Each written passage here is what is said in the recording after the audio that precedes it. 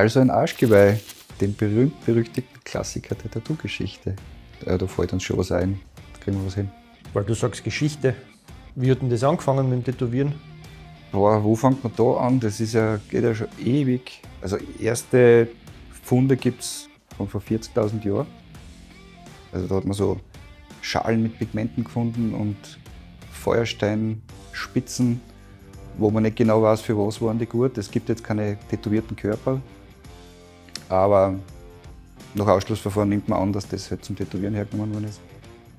Den Ötzi kennt man vielleicht, 5300 Jahre alte Eismumie aus dem Ötztal in Südtirol. Der war tätowiert, der hat über 60 Tätowierungen gehabt.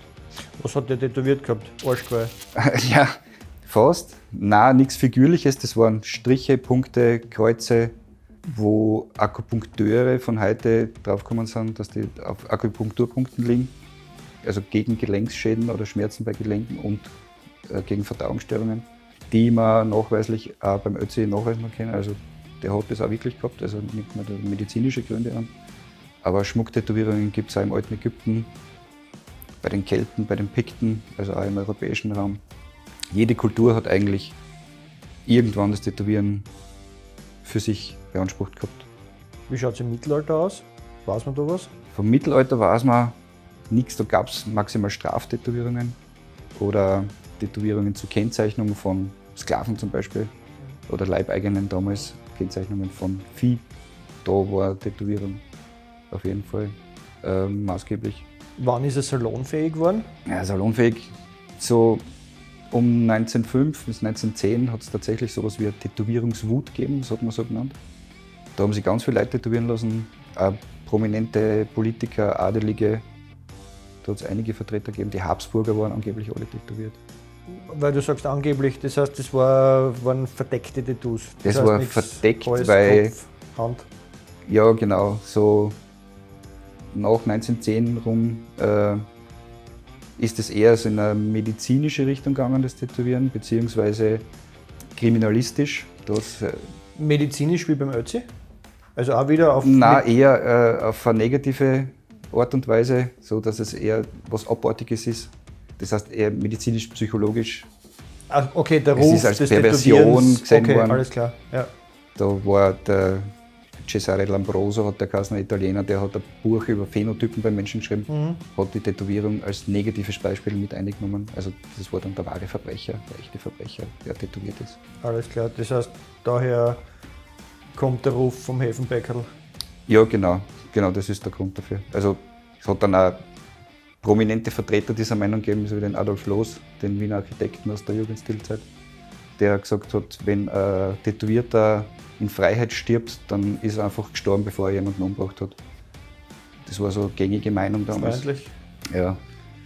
Und das hat sich dann eigentlich durchgezogen bis in, in die Gegenwart, bis in die 70er, 60er, 70er Jahre. Ja, aber in die 60er, da kommt ja der große Tattoo-Boom, wenn ich das richtig im Kopf habe. Ja, da gibt es halt dann die ganzen Studentenrevolten, Jugendkultur. Da hat es angefangen, die Hippies. In die 70er waren dann schon die Punks, da ging es mhm. dann um ein politisches Statement meistens.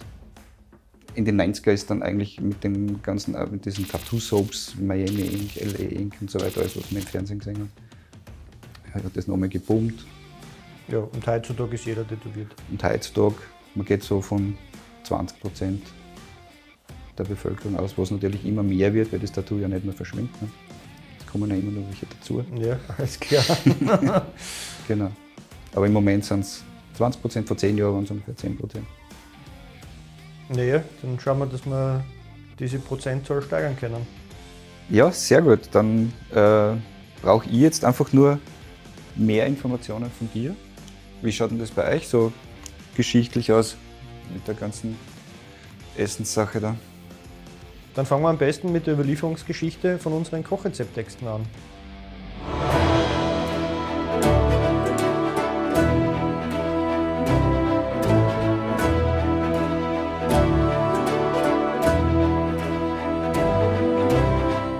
Praktisches Wissen wurde im Mittelalter in erster Linie mündlich von einem Menschen zum anderen weitergegeben. Der Meister erklärte dem Lehrling das Handwerk und lehrt ihm sein Können. Was aber, wenn der Meister stirbt, bevor er sein Wissen weitergeben konnte? Die Wissensvermittlung ist unterbrochen und sein Wissen unwiederbringlich verloren. Nur wenige Menschen konnten im Mittelalter lesen und schreiben. Etwas aufzuschreiben war ein teures und mühseliges Unterfangen. Aufgeschrieben wurden daher hauptsächlich Texte mit wichtigen Inhalten wie Urkunden, Rechtstexte oder religiöse Texte. Das typische handwerkliche Wissen wurde wie eh und je mündlich weitergegeben. Ab dem 14. Jahrhundert wütete die Pest in Europa. In mehreren Wellen wurde die Bevölkerung in einzelnen Landstrichen um bis zu 60 Prozent dezimiert. Mit den Menschen starb auch ihr Wissen, weil sie es nicht mehr rechtzeitig weitergeben konnten. Dinge aufzuschreiben und damit für die Nachwelt zu erhalten, nahm jetzt eine ganz andere Dimension an. Und so begann man auch Fachwissen wie Kochrezepte aufzuschreiben. Diese Niederschriften darf man sich allerdings nicht wie heutige Kochbücher vorstellen. In diesen Handschriften findet man außerdem keinerlei Gebrauchsspuren, wie etwa Fettflecke oder dergleichen, die darauf hindeuten würden, dass sie in der Küche benutzt worden sind. Aufgeschrieben wurde auch nicht das Alltägliche, sondern das Besondere. Die überlieferten Rezepte zeigen also die sogenannte Herrenküche, Gerichte, die in adeligen Haushalten auf den Tisch kamen und nicht die Speisen der einfachen Bevölkerung.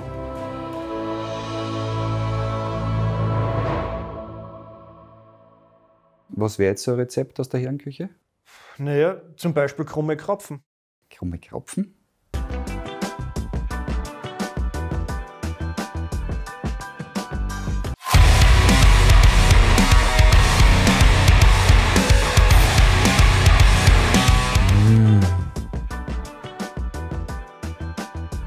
Das sind die Krapfen von meiner Oma. Die sind echt. Im Mittelalter hat es auch Krapfen gegeben, die von meiner Oma allerdings nicht. Das Wort Krapfen ist schon relativ alt. Im Althochdeutschen, also im frühen Mittelalter, bedeutet es oder deswegen machen wir heute auch krumme Krapfen. Der Krapfen, den wir heute kennen, der ist irgendwann am Beginn der Neuzeit entstanden. Manche sagen, die Cecilia Zilli Krapf, die war Zuckerbäckerin in Wien, hat den erfunden, aber eigentlich glaube ich das nicht. Weil vergleichbares Gebäck gibt es schon wesentlich früher. Die Definition heute ist, dass Teig in Fett außerbacken wird. Das gilt natürlich auch für die mittelalterlichen Kropfen, auch wenn sie nicht ausschauen wie ein Forschungskropfen. Für den Teig verknetet man Mehl, Eier, einen sehr würzigen Käse, Muskatnuss und Pfeffer.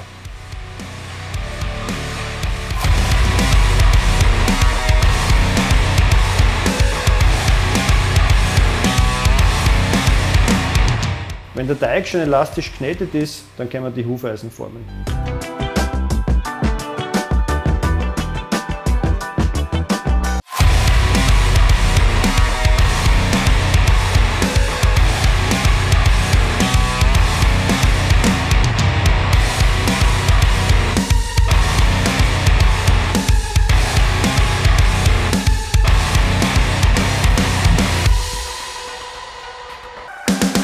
Frittieren! Im Mittelalter haben sie vorwiegend mit tierischem Fett gearbeitet, Schmalz oder Butterschmalz, das ist geklärte Butter. Olivenöl hat es natürlich auch gegeben, aber das ist mehr im mediterranen Bereich verwendet worden. Im Kochbuch von Meister Hans steht, wenn die frittieren, und die frittieren übrigens im Mörser, dass das Fett nicht zu heiß sein soll, damit das, was du frittieren willst, nicht verbrennt.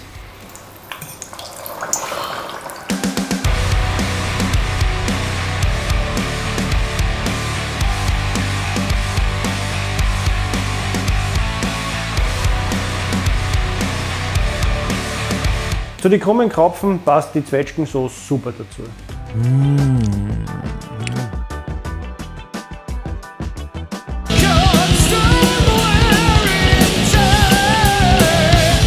Somewhere in Time ist das geilste Album von Iron Maiden.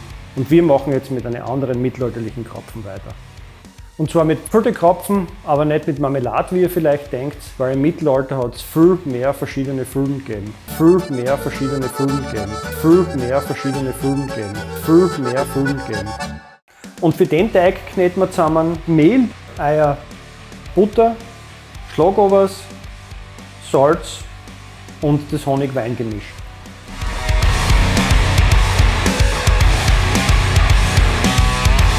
Wenn man den Teig dann fertig hat, kann man sich überlegen, ob man halbrunde oder dreieckige Krapfen haben will. Für die einen braucht man kreisförmige, für die anderen viereckige Teigblätter.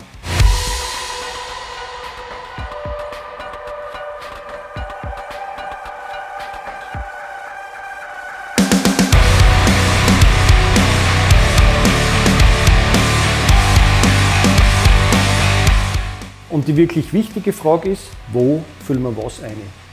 Wir haben eine Fülle aus Speck und Käse und wir haben die Fastenkrapfenfülle aus Äpfeln und Nüssen. Vielleicht fragt sich gerade einer, wie Krapfen und Fasten zusammenpassen. Im Mittelalter geht das. Das hat mit der Religion zu tun gehabt. Man hat kein Fleisch von vierfüßigen Tieren essen dürfen. Eingeschränkt war also, was man gegessen hat und nicht wie viel. Die Leute haben ja schließlich hart arbeiten müssen. Und jetzt frittieren.